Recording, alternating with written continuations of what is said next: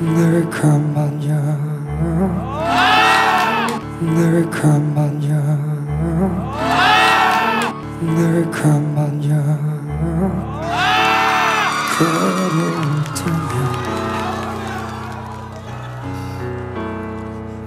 때면 널가 아, 이 목소리로 그걸 부른다고? 위로해 줄게. 내가 얘기했잖아 가슴이 있다고 그랬잖아 허전하고 쓸쓸할 때. 내가 너의 보따리라 나는 너의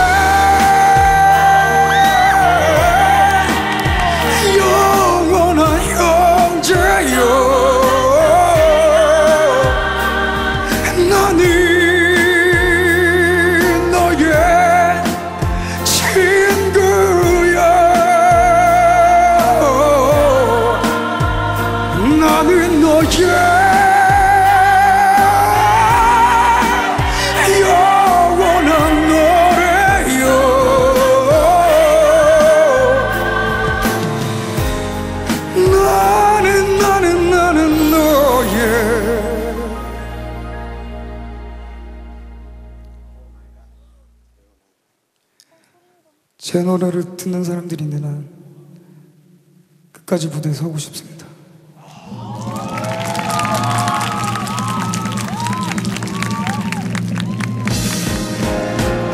나는 너의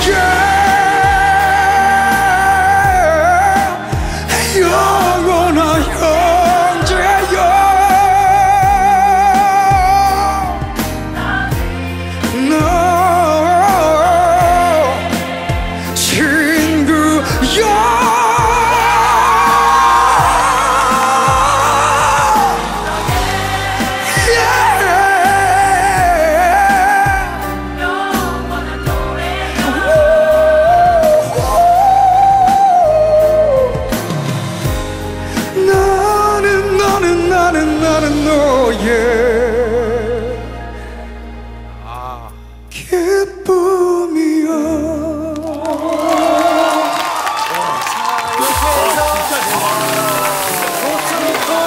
허스키 선생 3등상은 실력자였습니다. 아 믿을 수가 없네 이거